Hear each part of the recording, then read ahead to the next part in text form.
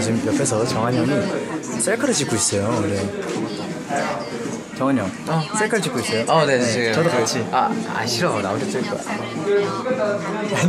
아, 알겠어요. 왜? 같이 한번, 찍어요? 같이 한번 찍어볼까요? 저희가 셀카 찍는 방법. 네. 저, 그, 저희 그때 배웠었잖아요. 쿱스한테 셀카 찍는 아. 근데 이, 이 카메라가, 이 어플이 바로 아기찜 어플이라.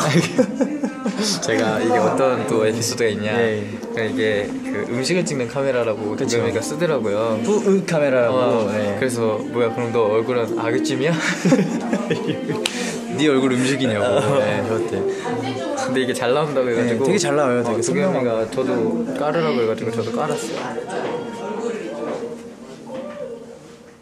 또 에스쿱스가 알려준 거 아, 또 쿱스 형이 또 저희 그 어디죠? 그 에스크 인더 박스인가? 어. 거기서 셀카를 잘 찍는 방법을 알려주는데 입술을 이렇게 동그랗게 하고 약간 표정 찡그리면은 잘 나온다고.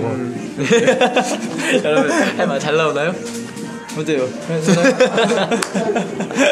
어, 나 한번 찍어보도록 약간 하겠습니다. 에스쿱스 알려준 것 같은데 아, 얘 너무 이상한데 우리 지금. 아, 일단 찍어, 일단 찍어. 알겠어. 하나 이거 삭제